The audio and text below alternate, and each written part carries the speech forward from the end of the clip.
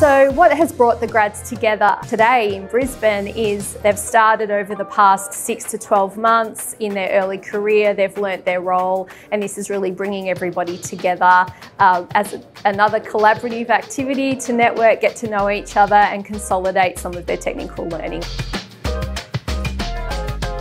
I think I just really want to soak in as much as I can and learn as much as I can. But I think it's a really great networking opportunity more than anything, just to meet people from other offices and other directors and partners and learn what it's like in different divisions of the firm and love to know more about that as well.